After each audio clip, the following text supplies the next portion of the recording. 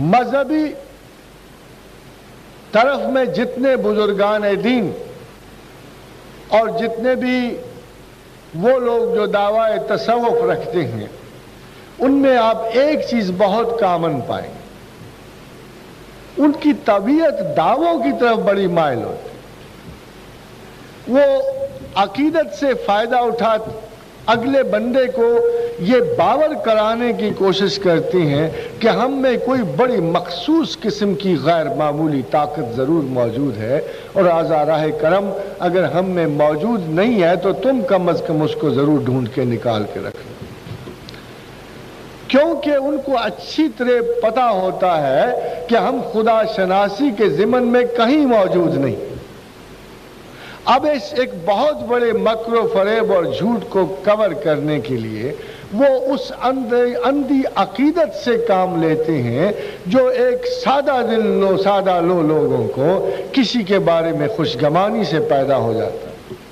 और वो कोशिश करते हैं, उनके पास कोई एक्सप्लेनेशन नहीं होते और खामोशी और अदब दो हथियार हैं सूफिया के पास जो लोगों को इंक्वायरी और तजस और इल्म की तहसील से रोकते हैं।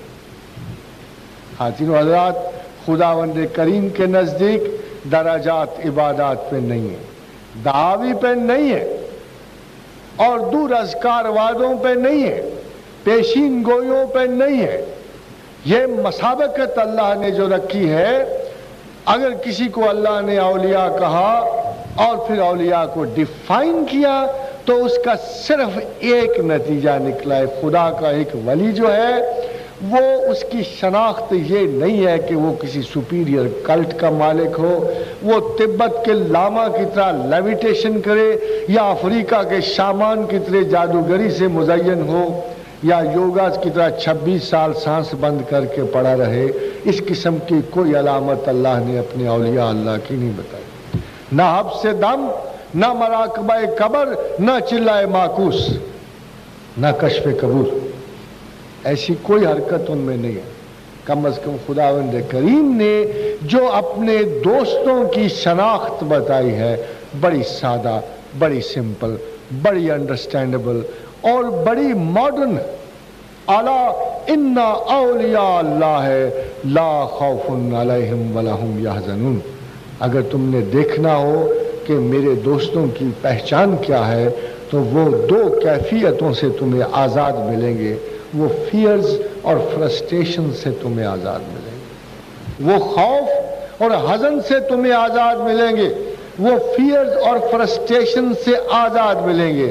खातिन हजरात अगर इस दौरे फियर और फ्रस्ट्रेशन में, इस दौरे हुजन मनाल में, इस दौर में जहाँ हर बंदा किसी न किसी चीज़ का शाकी है, दर्दमंद है, उदास है, अगर कोई ऐसा शख्स मिल जाए कि जो खुद गमो हुसन मलाल से आज़ाद हो तो फिर आप उसको खूब अच्छी तरह समझें कि ये और हो ही कोई नहीं सकता सिवाय इसके कि खुदा का ये दोस्त है। मगर हुसन मलाल की बारात तक पहुँचने के लिए खुद शनासी के एक एक पल को हमें एक एक मरहले को तय करना पड़ता है। उदास वो नहीं होता जो उदासी की हर किस्म जानता है। और न सिर्फ़ जानता है, बल्कि उदासी के हर पहलू से गुजरते हुए हुसन मलाल के हर पहलू से गुजरते हुए, वो तभी एनालिसिस के साथ वो उसकी वजह जानता है। वो दिल में उस ज़मीन के कते को अच्छी तरह जानता है, जिसमें किसी खारजी उदासी का बीज आके पड़ता है। हमारा दिल अल्लाह की ज़मीन है। और शेख अब्दुल कादर जिलानी फरमाते हैं कि मलका सवा की जब आयत उतरी और जब हुदहुद ने खत डाला मलका सवा के दहलीज पर सुबह उसको खत मिला, इन्नहू बिन सुलाइमान, इन्नहू बिस्मिल्लाहमान रहीम।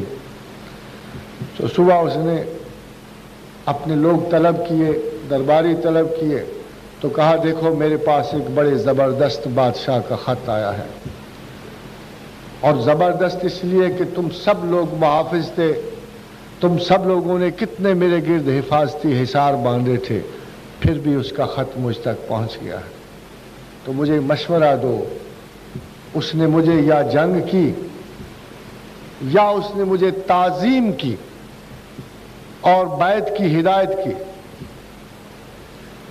तो उस लोगों ने कहा कि मलिका आलिया, हम पहले भी तेरी खातर बड़ी बड़ी जंगें लड़ते रहे हैं। तू आज भी हमें हुक्म दे, हम सुलेमान से लड़ जाएँगे। तो उसने कहा कि जब बादशाह किसी बस्ती में दाखिल होते हैं तो उसको उजाड़ कर वीरान कर देते हैं और उसके उमरा और रऊसा को जलील व खासर व खायब कर देते हैं।